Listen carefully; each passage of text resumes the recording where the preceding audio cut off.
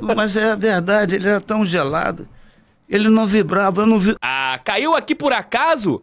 Você vai gostar desse corte, porque o canal Resenha com TF é feito com muito amor e carinho. Deixa o like, inscreva-se, porque todos os dias você encontra cortes e também entrevistas à íntegra. Veja aí, porque esse aqui ficou bem legal. Teve uma época que teve uma que foi, foi Gerson e Didi, Didi e Gerson. Deve, deve ter feito os 800 E gols eu esse de ano. centroavante, entrei, entrei no lugar do Quarentinha. Você fez quantos gols essa temporada? Ah, Uns 200, né? Perdi a conta.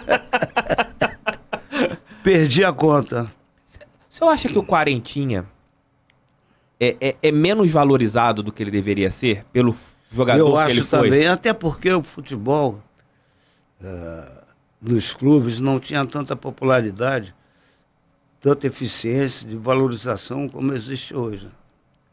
O Quarentinha foi um dos maiores centroavantes que eu tive a felicidade de jogar com ele e de vê-lo jogar. Cara.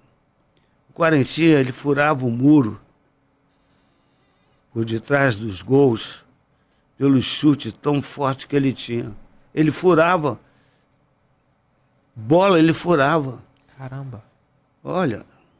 E, e- ele não quem comemorava viu, gol, né? eu vi- hã? E ele não gostava de comemorar o gol, né? Achava que É, falava que é obrigação, né? Todo mundo vibrava, gritava, pulava, ele abaixava a cabeça.